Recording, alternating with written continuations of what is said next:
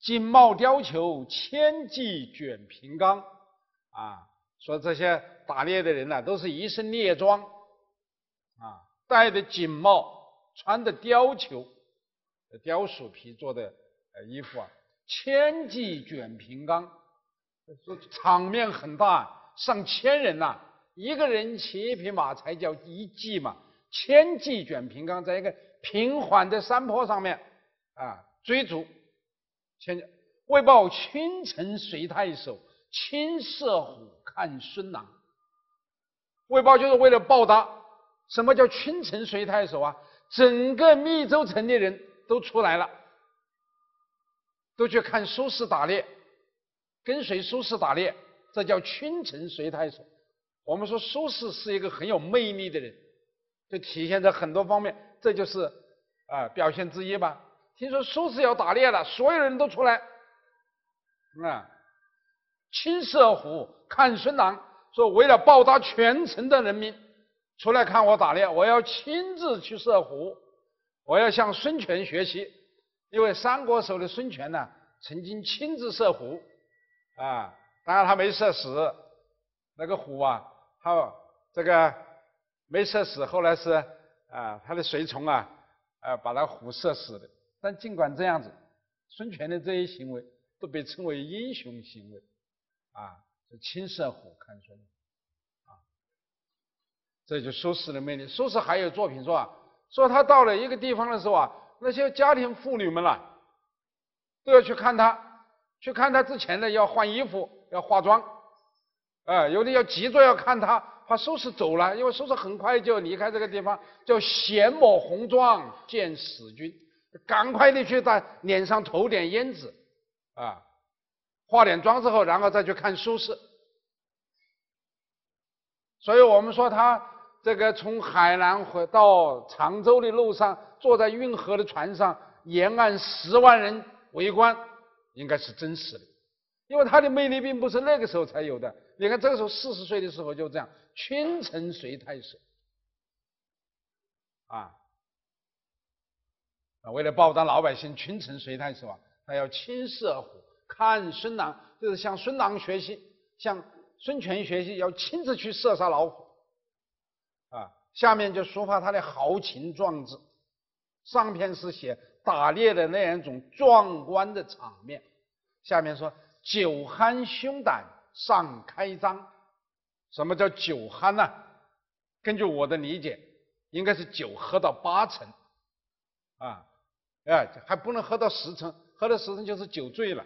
酒醉就不好看，喝少了也不豪放，喝到八成就酒酣，酒酣之后胸胆就开张了嘛，就豪放起来了嘛，是吧？平时很多不敢讲的话，这个时候就讲了；平时很多不敢做的事，这个时候就做了。所以叫酒酣胸胆尚开张，鬓为霜又何妨？这个鬓为霜，这两边的兵法已经有些。花白了，但是又有什么关系呢？啊，这个鬓为霜啊，就比在前面说的鬓如霜啊要真实一些，是吧？都是在密州人上写的，一个说鬓如霜，一个鬓为霜，我觉得可能鬓为霜更真实一点啊。啊，这鬓为霜又有什么关系呢？啊，此间云中何日遣冯唐？啊。这是一个典故，啊，这是个典故啊。这是这个汉文帝的时候，有一个云中太守叫魏尚。云中啊，就是现在山西的北部，内蒙的南部。那个时候，那个地方叫云中郡。这云中郡有一个太守叫魏尚。魏尚这个人会带兵。魏尚做云中太守的时候。匈奴人不敢南下，啊！但是有一次魏尚还是出了问题，因为他和匈奴人的一次战争当中，虽然打败了匈奴人，他的手下报战功的时候多报了六颗人头，多报六颗人头。后来朝廷知道了，就给予魏尚处分。所以说啊，这个虚报数字啊，并不是自古以来就有的。你看他多报六颗人头，他就被撤职嘛，啊，因为你多报人头就是为了领赏，是不是啊？多报六颗人头，啊，撤职。好，魏尚一被撤职之后啊，这匈奴人就没有顾忌了，就经常的越境南下骚扰，怎么办呢？这个时候，老臣冯唐，就是汉文帝啊，朝廷里面有个老臣，车骑都尉啊，冯唐。冯唐就跟汉文帝说：“说还是要启用魏尚，如果不启用魏尚，云中就不得安宁。”哎，汉文帝也明白了，说：“好，现在我任命你为特使，啊，拿着节杖去赦免魏尚，啊，这就是节，节就是使者手上拿着节杖。此间云中何日遣冯唐？这两句放在这里是什么意思呢？”通常的人们认为啊，说是啊，朝廷什么时候能够派冯唐那样的官员到我这里来赦免我、启用我，这样我就可以报效国家了。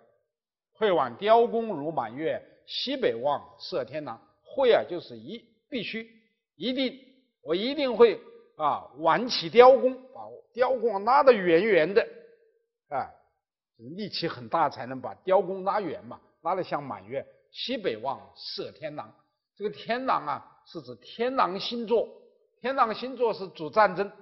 当时中国的西北，就是这个啊，就是有西夏嘛，啊，西夏也经常的侵犯中原，所以说这里就表达了能够为国家的统一啊，而亲上前线的。这样一个愿望，但是有人又提出不同的见解，说苏轼，呃，他当时没有被贬呢，在密州的时候，苏轼还没有贬官呢，他没有贬官，他为什么把自己比作魏尚呢？那魏尚是一个被贬了官的人，然后皇帝派冯唐去赦免他的罪过，重新启用他，所以如果你把苏轼比作是魏尚的话，就认为不恰当。通常人们在这里就是认为苏轼在这里是以魏尚自比，但是也有人，比方说玉平伯啊先生，他就认为在这里苏轼把苏轼比作魏尚不恰当。我认为是这样子的，就苏轼是个文官，他希望能够做个武官，能够像范仲淹那些人那样子到西北去带兵，所以呢。这个何日遣冯唐，应该是这个意思，就是什么时候朝廷能够派特使把我苏轼从密州调到西北去，这样理解就够了啊。我们对于典故的理解大意如此就够了，啊，不要太拘泥啊，不要说他一定是犯人，因为这个时候苏轼还不是犯人呢。这个作品就体现了苏轼的那种豪放的气概啊。苏轼对于写这种豪放词啊。他是很自觉的，他为什么要写这种词呢？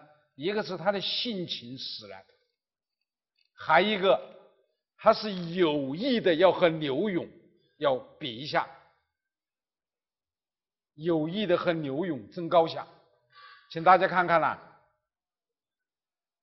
他在这个时候给鲜于子俊呢写了一一封信，在这封信里面。他这样讲，他说：“近缺颇作小词，说我最近啊，我还写了不少的小词，因为那时候人们把词当作小道嘛，所以词称小词。他说：虽无柳七郎风味，一字是一家。就说我的词虽然没有柳七郎的那种风味，但是也是自是一家，自成一家。哎，然后还很得意说：呵呵，啊，数日前。”猎于郊外，呃，几天也之前呢，我在郊外打猎，所获颇多。打猎啊，啊，打了很多猎物，很高兴，做的一阙，做了一首词，令东周壮士敌掌顿足而歌之，吹笛击鼓以为节，颇壮观也。你看这是首什么样的词呢？它不是那种让十七八岁的女孩儿唱的那种委婉的词。而是需要东周壮士啊，还要抵掌顿足，是吧？抵掌就是这样击掌嘛，顿足就是用用脚打拍子嘛，啊，还要吹笛，还要击鼓，啊，以为节，颇壮观也。这不就是豪放词吗？婉约词怎么能这样唱呢？啊，我们说的宋词啊，它都是女生唱法，都是女生唱的。啊，男士很少唱的，像苏轼就说这个作品只能男士唱，只能让东周壮士嫡长邓卓而唱，而且我们讲的北宋的词是以琵琶啊来伴奏的，他说这里不要用笛和鼓来伴奏，颇壮观也。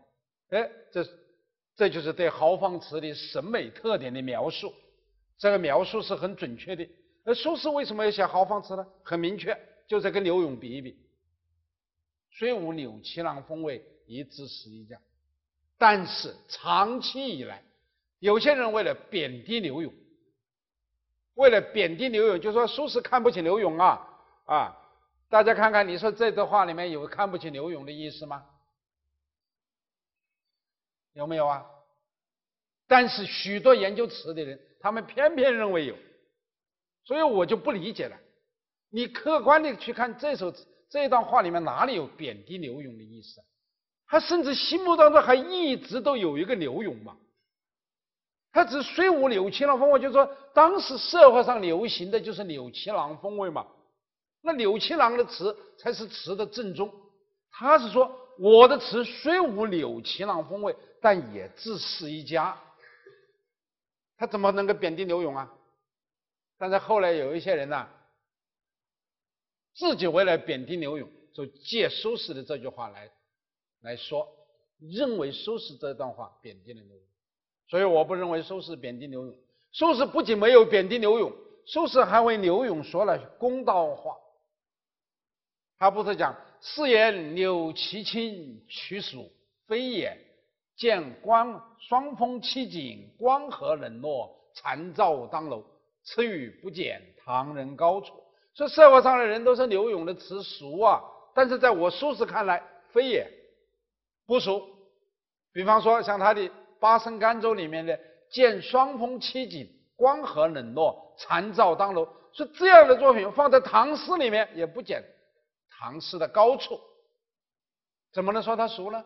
这说明苏轼在为刘永讲话嘛，为刘永抱不平嘛，而且他心目当中一直都有个刘永。其实他的很多作品。都受刘永的影响，所以我们不主张把苏轼和刘永对立起来。没有刘永，怎么会有苏轼？刘永是第一个做慢词的人。如果没有刘永做慢词，没有刘永创立那么多的法则，后来的人还不知道怎么写慢词呢。也许唐宋词的历史都要改写啊。这是我们顺带的讲一讲苏柳关系。下面我们要讲一个最有名的作品，也是一个啊误解最多的作品。大家猜猜是哪个作品？《念奴娇·赤壁怀古》这个作品啊，这个作品大家很熟悉啊，我们把它读一遍，《念奴娇》开始。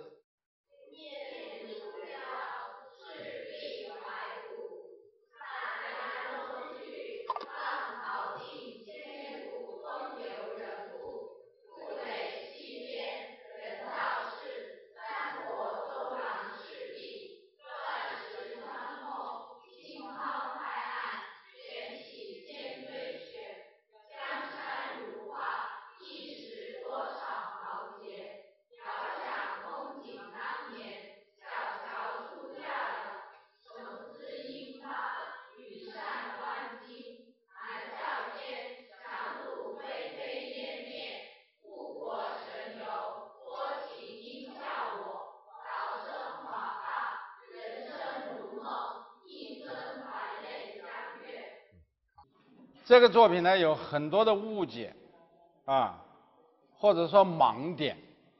所谓误解呢，就是解释错了的地方，解释错了的叫误解，啊，该解释而不解释的地方叫盲点，啊，这个作品的误解和盲点加起来大约有六处。这是我根据现在的中学语文课本和大学的那些古典文学教材，我统计的，啊，这个误解和盲点大约有六处啊。首先是赤壁，赤壁在哪里？啊，现在好像人们慢慢接受了，哎，是吧？许多人认为啊，这个苏轼啊，把黄州赤壁当做了真正的赤壁。其实苏轼没有这样子，啊，当年是那个赤壁之战的赤壁，不是苏轼写作《前赤壁赋》。后赤壁赋和念奴娇·赤壁怀古的这个赤壁，那个赤壁叫蒲圻赤壁，这个蒲圻啊，后来改为赤壁市，就是我的家乡湖北赤壁市。我的家乡在湖北省赤壁市赤壁镇，啊，我每年回到家乡都要到这个赤壁镇去。然后他们要请我到那里吃长江的鱼，啊，所以对这一段历史，我是有发言权的，啊，那个苏轼为什么要在这里要把这这个地方当赤壁呢？因为在黄州啊，它有一个山，一个山也是在江边上，它不是叫赤壁，它叫赤鼻，鼻呀，这红色的鼻子，就那个山呢，像鼻子一样的，叫赤鼻矶。啊，这个黄州人讲话，他是赤壁和赤鼻不分的。呃，黄州人叫赤鼻，赤鼻，这曾老师哪里人呢？赤鼻人。这赤壁跟赤赤鼻啊，他不分，这样就使得外地人到了黄州去啊，就很容易把这个赤鼻和赤壁的搞混。第一个著名的搞混的人是谁呢？就是杜牧。啊，是吧？其实杜牧的祖父杜佑在《通典》里面讲的清清楚楚，赤壁在哪里？在蒲圻，不是在黄州。杜佑有杜杜牧又号称喜读兵书，杜牧又以自己的祖父而为荣，他不可能不读他祖父的书吧？他怎么会把一个黄州赤壁搞成了蒲圻赤壁呢？我想有两种可能，一种是忘记了，第二种是受了当地人的影响。当地人把那地方赤壁赤壁不分了，他以为就是赤壁了，所以呢，他看见一个地下出土文物啊，他就想起了周瑜这个人也没什么了不起，不过是侥幸成功而已。如果要是给我杜牧机会的话，我一定比你周瑜做得更好。所以他就写了一首诗嘛。他写那首诗并不是在考证说。真正的赤壁在哪里？他的意思是要说周瑜是侥幸成功，因为做杜牧是个志士很高的人，喜欢谈兵的人，是吧？好，杜牧这样一写了之后啊，就给黄州当地的学者们啊，就很大的鼓舞。他们就是为自己家乡来来争这些名胜古迹嘛，就跟我们现在的人是一样的啊。说你看人家杜牧是名人。呃，杜牧都说我们这里的是三国赤壁，那我们这里就是三国赤壁的啦。所以黄州的地方文献就是从杜牧以后都记载那里是三国赤壁。当然黄州也有明白人，也不是说黄州人都是这样。黄州就有些明白人明确的说，真正的三国赤壁在蒲圻赤壁，这里不是的。黄州赤壁不是真正的三国赤壁，也有明白人，啊，不是说都是那些糊涂人。啊，所以说你看，苏轼在这里就已经虽然是写的《赤壁怀古》，但是他是怀疑的，他怀疑这个地方的，啊，他不是他不是说真正的就是呃认定了这个就是三国周郎赤壁。如果是这样子的话，他为什么要说一个人道是三国周郎赤壁呢？什么叫人道是啊？就人们说嘛，就像我们现在，如果我们有一个事情判断不准的话，我们怎么说呢？据新华社报道，对不对？那你要是怀疑的话，你去找新华社吧，你啊，这就埋下了伏笔嘛。这意思就是说，我苏轼要借赤壁这个话题来抒发我内心的傀儡，啊！但是你们不要以为我苏轼就不懂真正的赤壁在哪里，不要说我没学问，所以我留下一个伏笔，人道是，知道吧？所以他跟下棋，它不是一颗闲子，他这三个字不是可有可无的，啊，这是关于赤壁在哪里啊？那么我们现在顺着讲下来，大江东去，浪淘尽，千古风流人物。大江就是指长江嘛。是吧？古人称古人称长江的时候都不叫长江，就是叫江，或者叫大江。就像古人说黄河，从来不说黄河，就叫河。河只有一个，黄河；江只有一个，长江。后来才把它具体化了，长江啊、黄河这样叫了。大江啊，滔滔滚滚的大江向东流去。嗯，啊，大江淘洗了许多的。